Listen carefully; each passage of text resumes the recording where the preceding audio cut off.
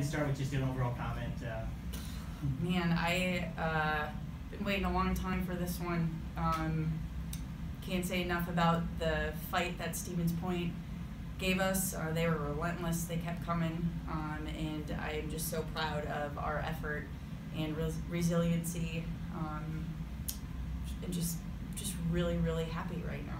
So. yeah, still sinking in, but any of the players, do you feel like uh, it's even more sweet when you play and have to go to five and really have to scratch and claw and dig as deep as you guys had to? I mean, obviously it would have been more relaxing to win 3 0, but is it any more satisfying that, that you, you really were pressed?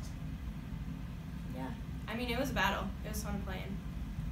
Like, it, you never knew what was gonna happen, so you just had to work that much harder and play with your team. So yeah, it's really exciting.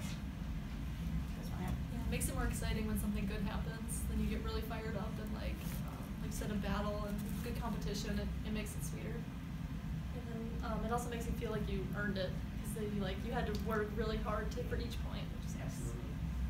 And I'm sure you, that's something that'll carry into next week where, you know, competition is gonna continue to, to, to be outstanding again. Coach, can you talk about what last year meant, you know, like maybe last year's regional and, and, you know, how so often it seems like in most sports, volleyball especially, there's sort of a process, you, know, you, you don't just go from one point to a championship. Right.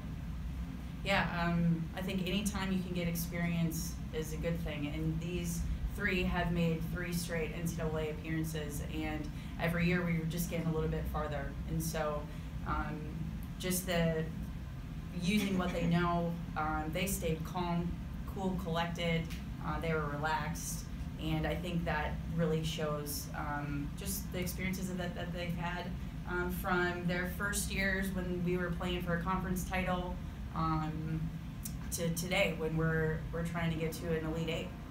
So And of course, this is always a competitive conference and a competitive region, so I know, again, it's still sinking in for you guys, but, you know, there'll probably be things pop into your head of a bus ride home or tomorrow, feeling like, you know, how the season has went.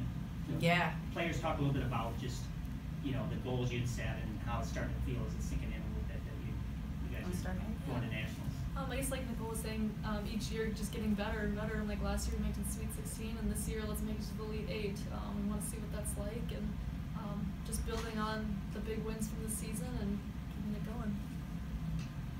I think it helped like with our conference being so good because we, we had tough competition all year, so we were kind of like built and ready to like we knew how to fight and stuff because we've been doing that all throughout our conference.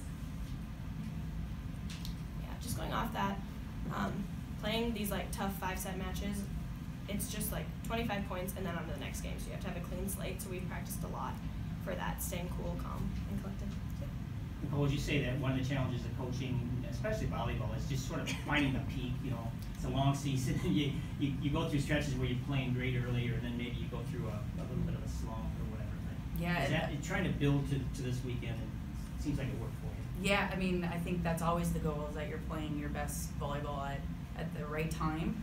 Um, and we actually started. We played really well opening weekend. We had some big matches right away, and um, every conference team wants to beat us. So we got everyone's best, and they would agree. We got everyone's best all year long, and um, I think that helps in these moments when we've played five. We've been down, um, you know, down two sets. We've had to come back, and you just learn how to work through that. And volleyball is absolutely a game of momentum, and volleyball is absolutely um, a game of mistakes, and it's how you respond to those um, to those moments. And because of the experiences that we've had throughout the regular season, um, and even the conference tournament, it really prepared us to be able to handle situations that happen tonight.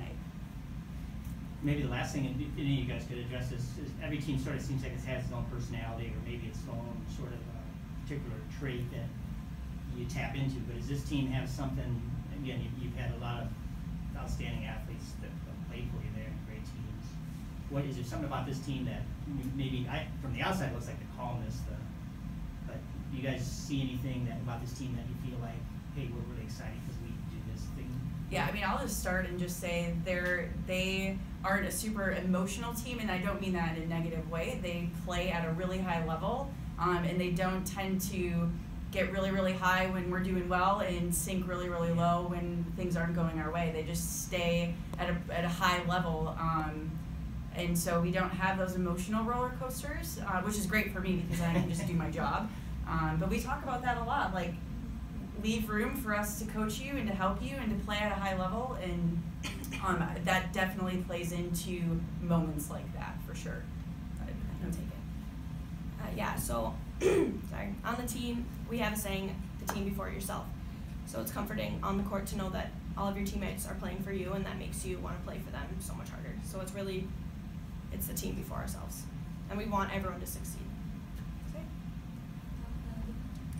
And I think what helps too is um, our team is really close, so it, we always know like we have each other's backs and we can always count on that.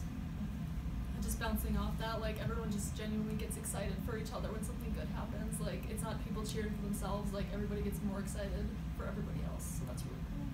Okay, I lied, I'm gonna have one last question. So, the players, quick, just talk about your coach, and she's got such an outstanding resume as a player and as an assistant coach, she's been a terrific head coach in this league. And now she's gonna go to the national tournament with you guys, so talk about what, what she's meant and how she's built this program, and you guys have kind of taken on the legacy. Um, I think she's kind of replicated us in like the calm, collected way. Like she doesn't yell at us, but like keeps us like keeps the same energy as us, but like is there when we need to be like, hey, let's go. Like this is not okay. We need to do this. Like kind of on her case. So that's good. Yeah, and I think it helps too. Is she's very competitive, which is you always like to see in a coach. Like you know, she wants to win. You're like, okay, she wants to win. Oh, I want to win too. So that helps. Yeah, I'll just add a little thing too. Um, and it helps too. She's a friend when you need a friend. She's a coach when you need a coach. Um, it's not always about the outcome. She wants us to genuinely grow as people too, which helps a lot. So, yeah. Well, thanks for uh, three terrific matches and uh, representing your university, your, your college, I should say, and then in our conference and the region. And now good luck in Cedar Rapids, and hopefully you guys can just continue to do what you're doing. And, uh, maybe there's another trophy uh, or two in, in, the, in the midst for you guys next week. Thanks. Thank you very Thank much. you.